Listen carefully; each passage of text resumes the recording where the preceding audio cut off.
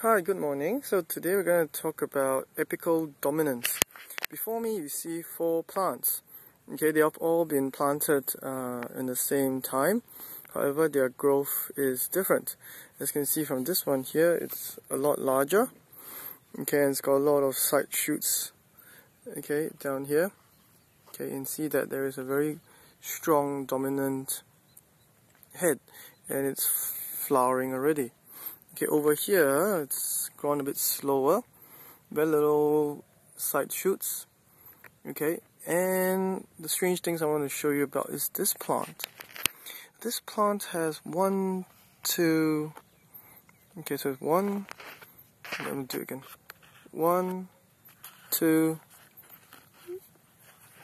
three, four, four shoots.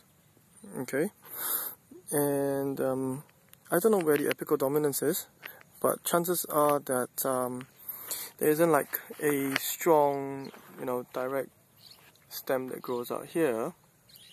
There's this plant, or if this plant you can see is just one solid straight stem that grows up. Okay, here you see it's like a rosette kind of a pattern. Okay, it's like a flower, you know, it's all spread out. The same with this one. Okay, this one has one shoot two, three, and four.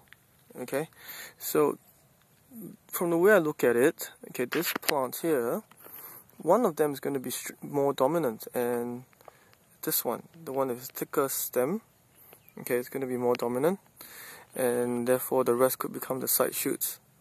Okay, whereas this one hasn't shown yet, so don't know, but it could have a strange chance that it may grow up to become a rosette concept rather than one big, you know, and um, yeah, having lots of flowers on top.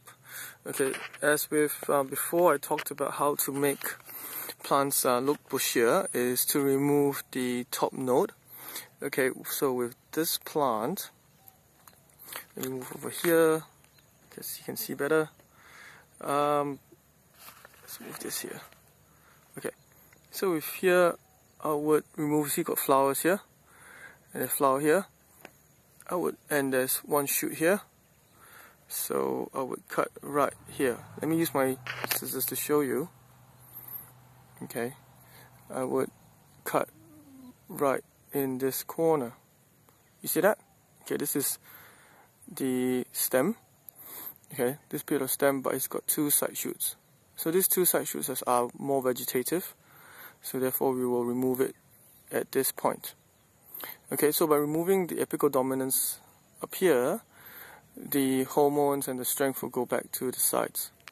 Alright, so um, yes, this concludes my little introduction about apical dominance. See ya.